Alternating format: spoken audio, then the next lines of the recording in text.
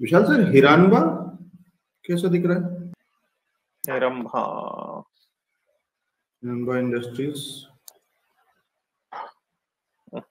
एक थोड़ा सा इसमें एक बेस बनता हुआ दिख रहा है हिरंबा में।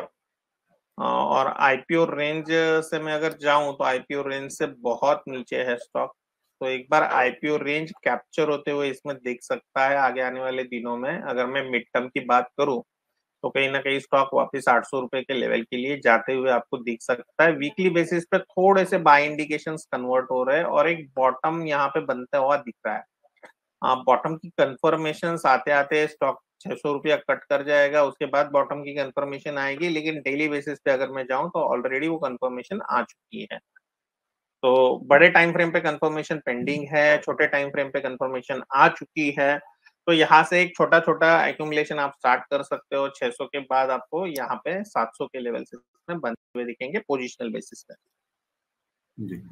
विशाल सर अगर मैं इसको कंपेयर करना चाहूँ हिरानबा को पारादीप से पारादीप फॉस्फेट और लॉन्ग टर्म का ही मेरा नज़रिया है क्योंकि पारादीप मेरे को अच्छे डिस्काउंट में मिल रहा है। I will go with Heramba अच्छा क्योंकि वो डिस्काउंट के साथ में वो वीकनेस जैसा भी है और वाला उसमें चार्ट में कमज़ोरी भी है। आ, नहीं ये क्या है? यहाँ पे एक है कि परादीप आईपीओ रेंज के ऊपर है तो ये आईपीओ रेंज टेस्ट करने जा रहा है। Where is Heranba IPO range के नीचे है वो नीचे से आईपीओ रेंज चेक करने जा रहा है। मेरा लॉन्ग टर्म का नज़रिया है तो लॉन्ग टर्म के नज़रिए से मेरे को परादीप अच्छा लगता है लेकिन मेरा mid term to short term नज़रिया है तो मेरा कॉन्सेंट्रेशन होना चाहिए हेरम्बा पे। ठीक है ये इंटरेस्टिंग है और ये बहुत अच्छे तरीके से सर ने समझा दिया है कि क्यों?